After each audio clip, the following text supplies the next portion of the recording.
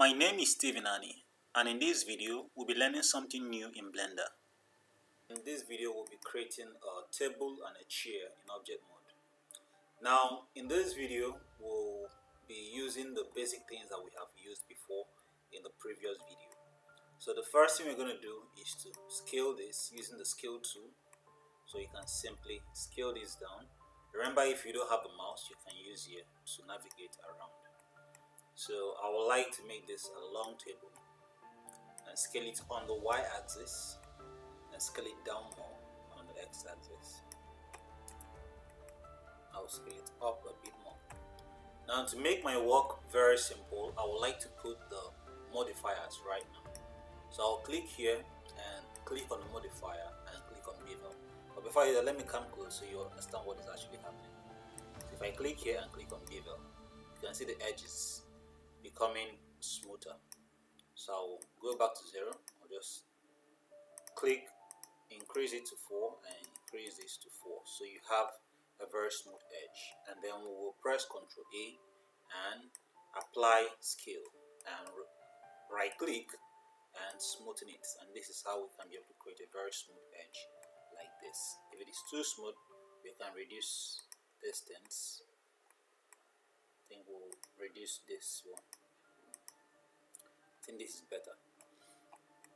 So now I can just do my Shift D and click to accept it. Now there are actually two here. So what I'll do right now is to press R. Now I want to rotate on the x-axis because I want it to stand this way so rx 90 so it's going to stand on this axis on the x-axis so I'll use the move tool to drag it back to this place.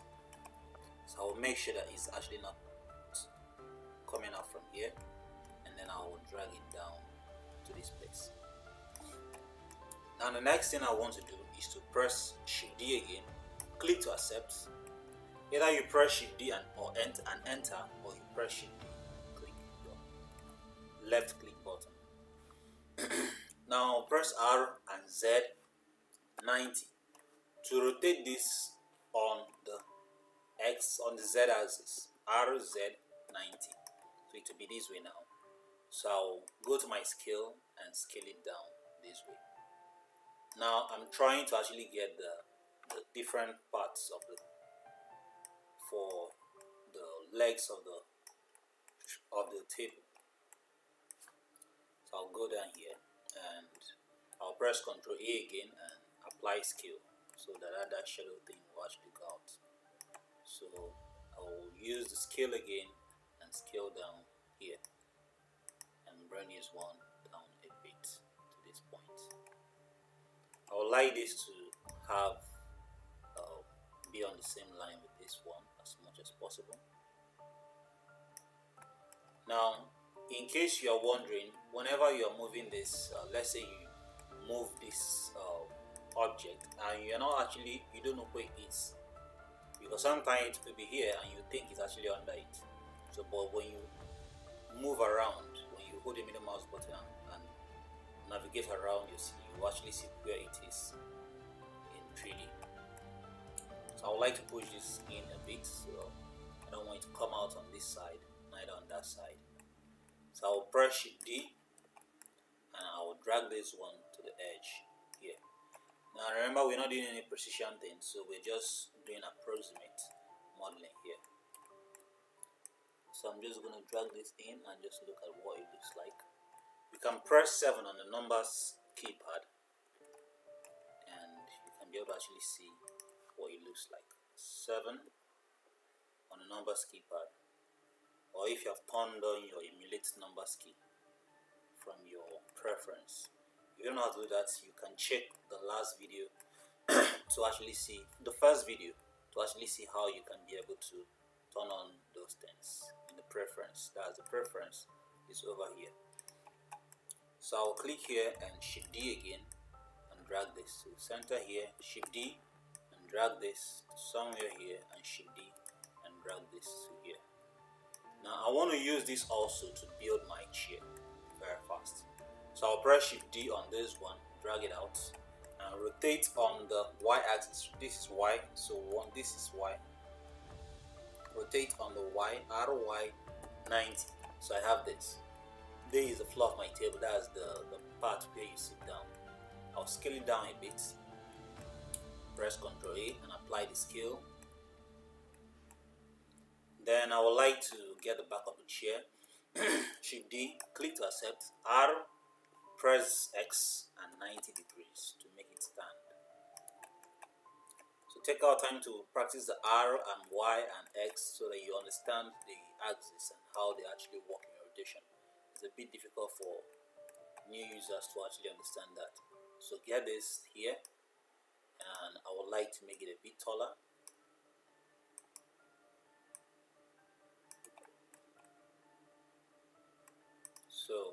if you want your chair to be stylish you can just rotate on the x-axis but move your mouse because you don't want to uh, move it too much so we can just do something like this all right uh, I think I would like to go move my mouse a bit I press R, X, and then move my mouse to rotate it manually. So this is not a precision, the precision um, rotation. So we have a seat that is slanting a bit. So we'll have this, and I'll press Shift D again and bring this down. Now, I want this to become the hand and the leg. Okay, we're gonna use to build the hand and leg of the, of the chair. So I'll click on my scale, scale this in I would like to scale this up a bit. So I want to start from the hand. I'm going to bring this up here and bring this to somewhere here. It on this axis. Scale it on that axis. Scale it down like that. So Shift D and rotate on the Y axis. Now Y Y sorry x-axis because x is this axis so r x 90 so we'll have this so we want one that will be standing straight like this so we'll just bring it down here. Remember control a apply scale.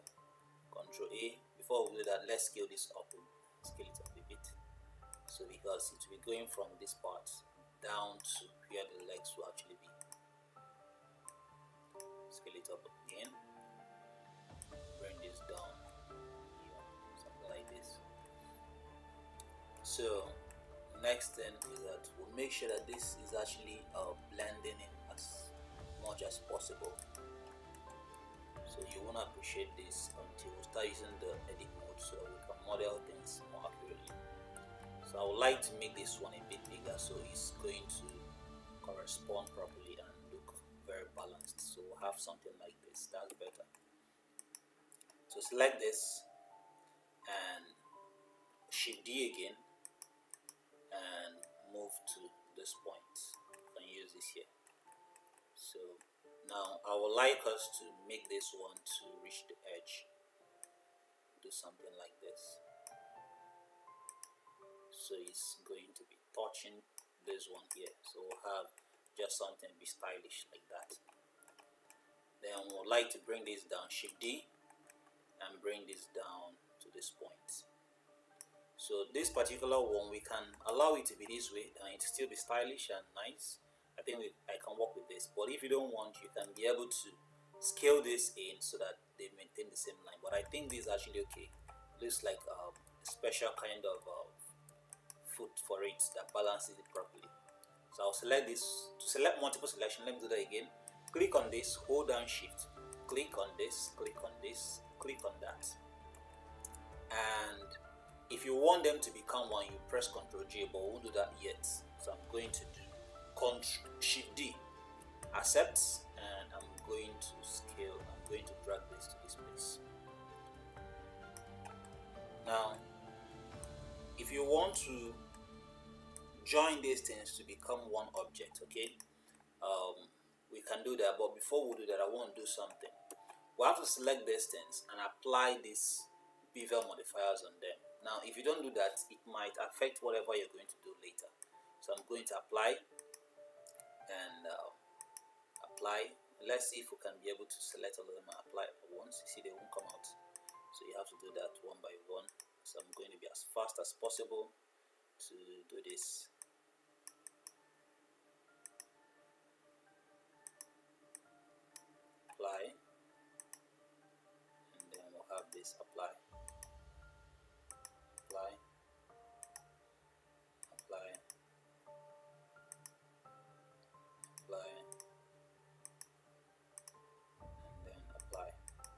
so this will actually make a smoother chair all right so I have this.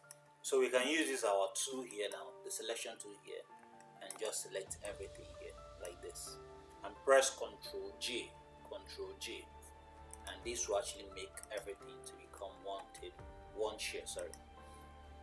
I'm gonna drag this into this place. So we'll have a very simple chair that we can be able to use to work. So scale this out 9 we also did something about uh, building a classroom. So I'm just going to quickly build a classroom but before I do that let me just duplicate this uh, let me duplicate this shift D shift D and shift D again. So we'll have about four chairs that are actually here. So I'll press shift A and bring in a cube and for this cube I'm going to scale this this way. Scale this out. Scale this up. Scale this out a bit. So you can scroll in and see and actually see where it is. If you're not seeing properly and you want to be able to see whatever you're doing you can enter into this Z mode this particular thing here. You click there and when you click there it will actually enter into the Z mode I would like to save my work so that I don't lose what I've started doing already. So I will call this my object mode modeling 2. So with this, I can be able to see how big the glass is and how small the chairs are. So I can just pull this one up and use my move to pull this one up So but for you to see the floor you have to always go back here and drag this up and appreciate you know how it's working. So I would like to go back again and scroll push this back a bit here. So I would like this class to be a bit bigger so I'm going to push this out. And I will do something interesting. I'm going to do um, shift D and scale this down sorry scale this particular one down. So this will be like a um, sort of uh, demarcation or like pillars. There's something I actually call it technically but um, we'll just leave that for the civil engineers. So I'm going to just uh, drop this down here. Now if you see that you are seeing some some lines there I don't like those lines. So I'll press E to select everything and just drag them out to go above this line. So I don't want to be seeing those grid lines. So now you can't you can't see those grid lines anymore. So you can just here select this. Always remember your control A to accept whatever you have done it. And the bevel is already on it so you, you don't have to actually do it again. So you can just do this. Now we're doing this this way because we will just be looking inside it. So all these things here you will not be seeing it when we start working with it later. So I'm just doing manual shift D and just move it shift D and move it. So you can just go in and simply select uh, let's also do that to the table. Apply this and apply that. Apply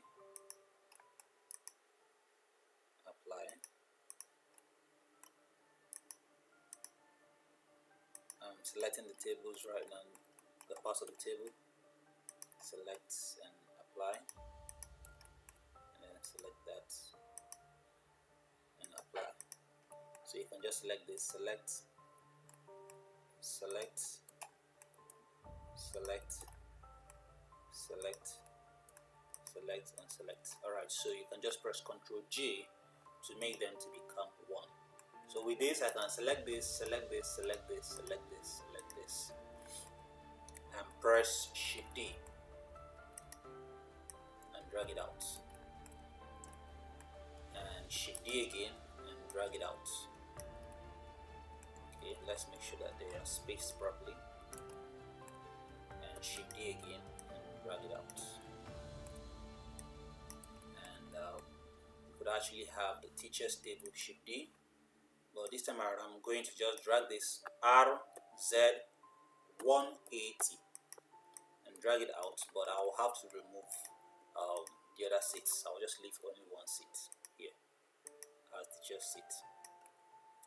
So we'll have this and that's more like a classroom and we just built that within few seconds or few minutes. Alright so work on this and um, let me see what you have I'll see you in the next video.